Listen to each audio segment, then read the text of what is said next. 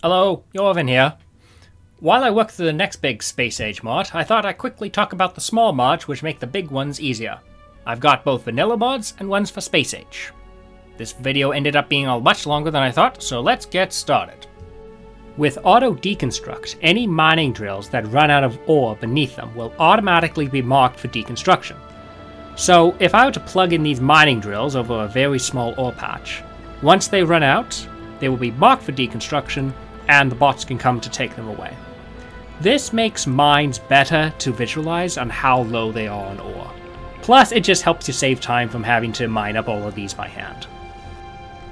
These two mods will automatically color your locomotives and wagons depending on the item they are carrying.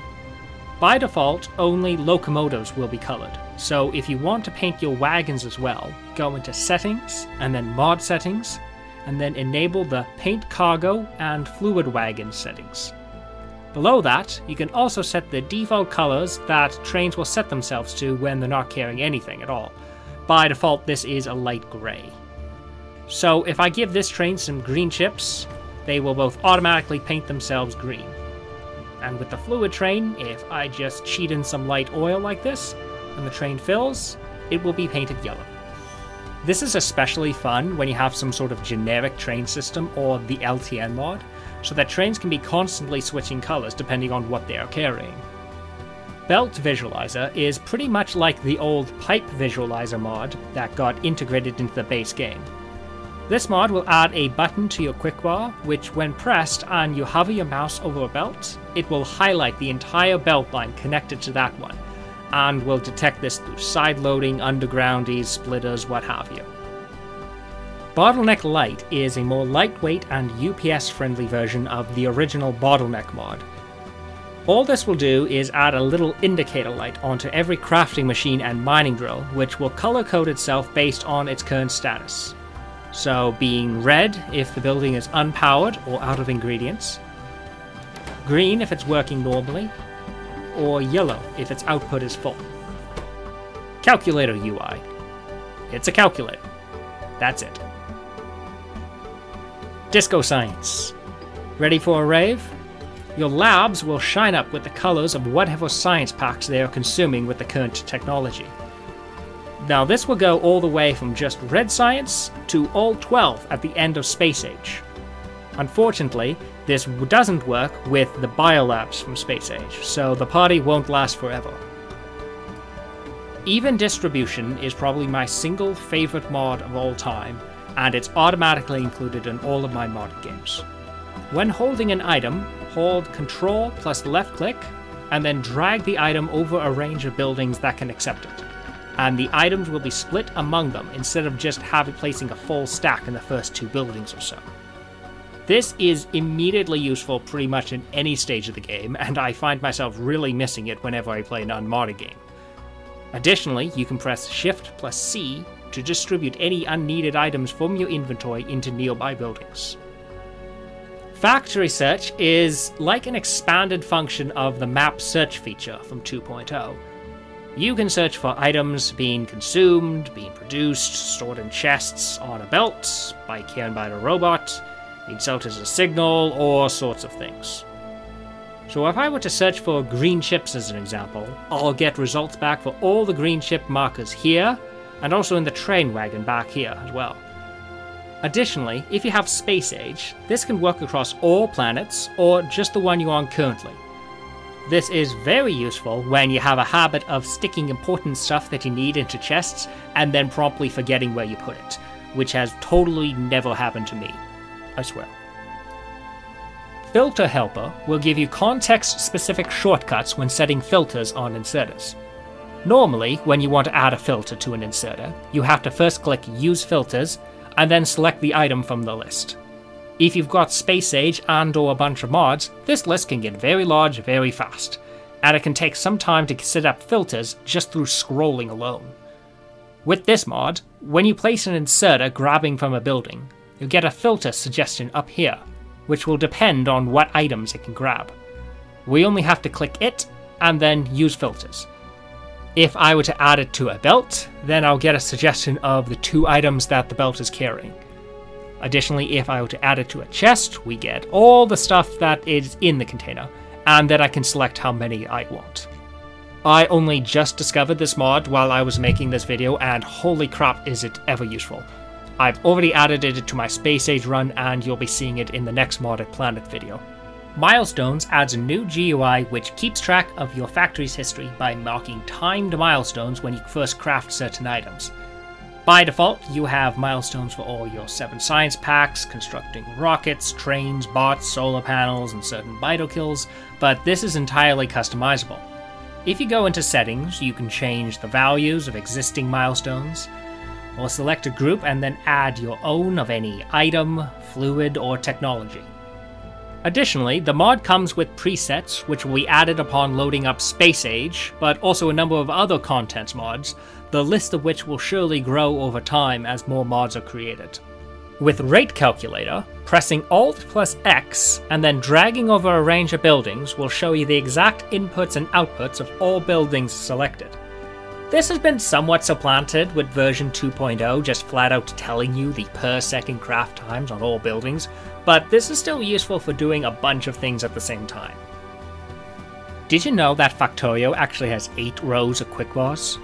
You can hold up to 4 at the same time, but I never find myself touching 5 through 8 because you have to go through 2 clicks just to change one bar. With Quick Bar Switcher, this adds a customizable keybind defaulting to Ctrl plus Q to instantly change all quick bars between 1 to 4 and 5 to 8.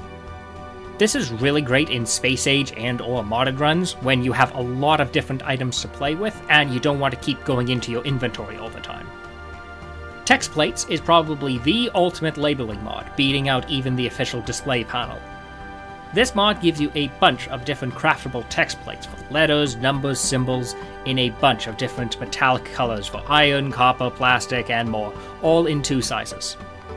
You can either select the individual characters you want to use one at a time, or type out a larger sequence to place down at once. I'm sorry, I couldn't resist. This is great for making large signs for parts of your base where a simple display panel won't cut it, and also for making YouTube thumbnails. Driving can be annoying, especially when you're trying but can't seem to get your vehicle driving in a perfectly straight line, so you keep bumping into stuff and making work for the construction bots. With Vehicle Snap, this makes your car or tank snap to 16 angles, so you can always drive nice and straight. Keeping on the subject of vehicles, did you ever lose your car or tank but you forgot to stick a map tag on it? With Vehicle Locator button, Press this button on the UI, and the game will automatically ping your car, tank, Spidertron, or most other modded vehicles on the current planet.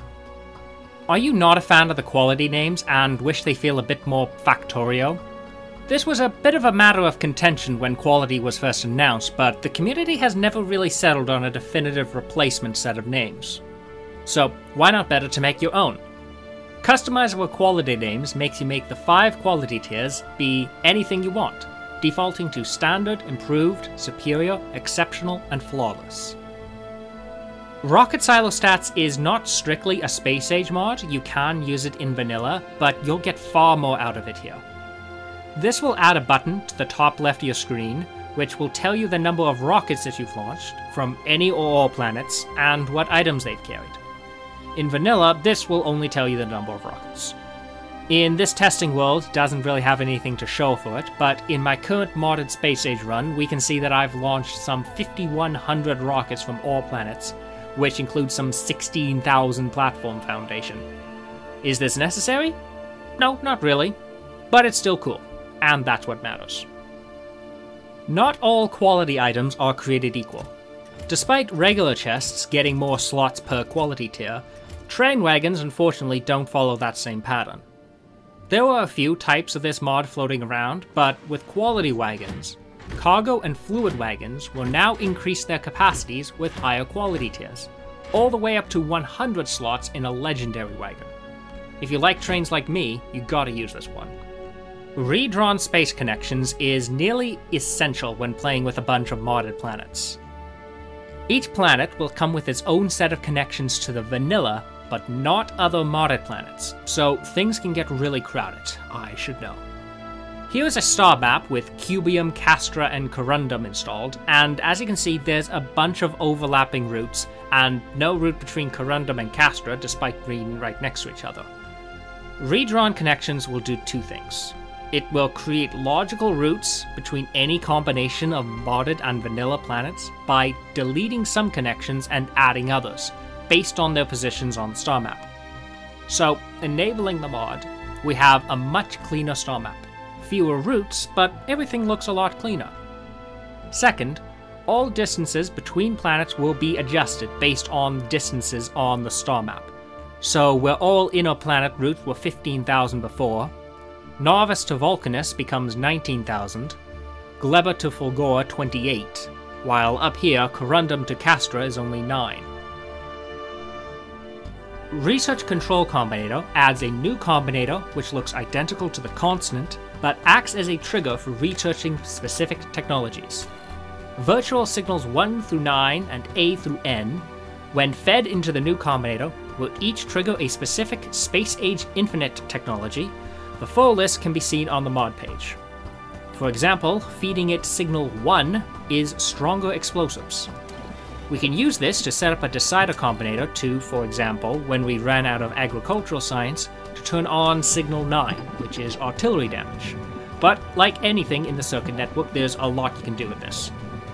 The only problem with this mod is that it doesn't seem to work for any of the infinite techs from the modded planets like Corundum or Cerys, so I think this one still needs a little bit of cooking, but it still feels a very important hole in the circuit network that I want to play with. This is more of a visual mod than anything gameplay related, but it's too good not to mention. Visible Planets is probably the best Space Age mod on the Portal right now, and the one that I hope gets added to the game for good. You have seen this one in my modded planet videos. This mod simply renders the current planet behind a space platform when it's stopped in orbit. Here's the art for Nauvis, and the other four planets as well. There's also one apparently for the Shattered Planet, if you can manage to get there. So with this mod, you're not just stuck with the default base images, there's a number of add-on mods which replace them with custom art, so pick the one you like best.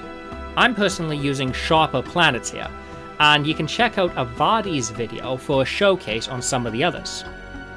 And yes, Visible Planets works with modded planets as well, with some bonuses. If you install Cerys, for example, and you go to Fulgora, you can see Cerys just chilling out in the background, as it should be. And that's what I got. Not that many for Space Age, but the expansion is still young, so there's bound to be more as we go on. Do you play with some small mods that weren't here? Let me know and I might do another one of these. Until next time, Yorven out.